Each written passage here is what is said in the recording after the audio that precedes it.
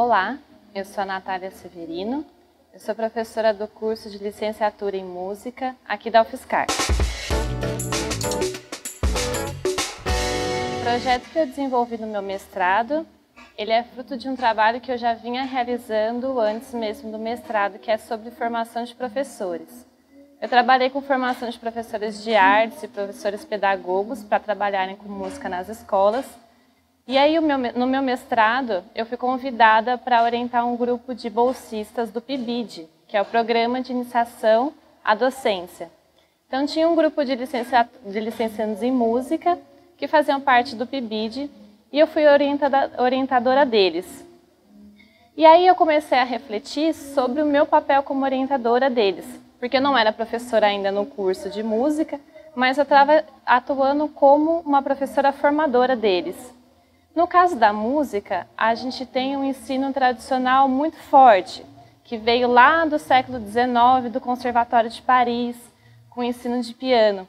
Então, quando a gente fala de música nas escolas, que era o meu projeto que estava sendo desenvolvido, e o trabalho que os bibidianos atuavam na escola, a gente não podia pensar o ensino de música dessa forma. Então era necessário que a gente pensasse o ensino de música uma forma um pouco mais diferente, mais atual, mais compatível com o ensino nas escolas.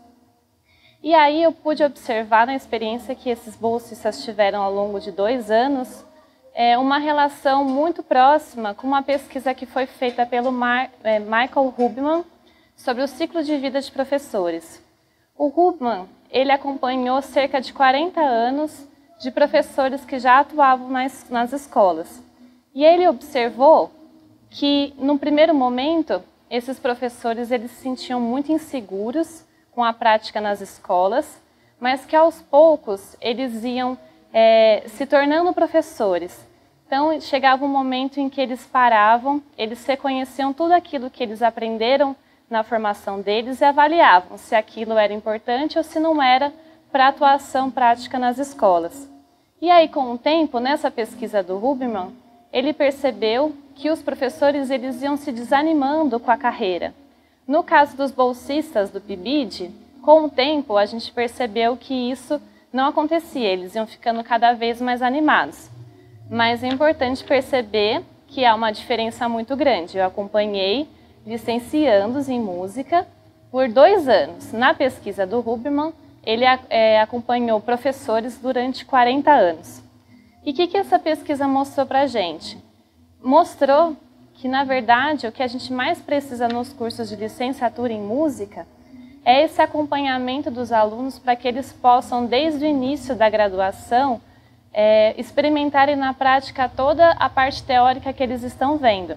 Que não adianta ficarmos quatro anos estudando toda a teoria musical, é, estudando toda a teoria da didática, sendo que a gente só vai no último ano experimentar tudo isso na prática a pesquisa quis mostrar isso, que a gente precisa acompanhar os nossos licencianos em música desde o início da graduação, para que eles possam participar da construção do conhecimento deles, para eles se tornarem mais autônomos, para eles poderem atuar com muito melhor, mais competência, mais comprometimento e com mais vontade, seja na escola, seja nos conservatórios, seja nos outros espaços que eles forem atuar.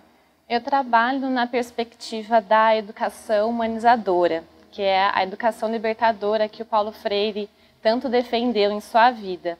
Então, quando a gente fala de uma educação musical humanizadora, a gente está falando de uma educação que é para todos, que ela é rica em conteúdos, mas que ela, ela tem como objetivo que as, que as pessoas elas possam entrar em contato com a música, seja para aprender um instrumento ou seja simplesmente para conhecer o repertório é, musical do mundo inteiro.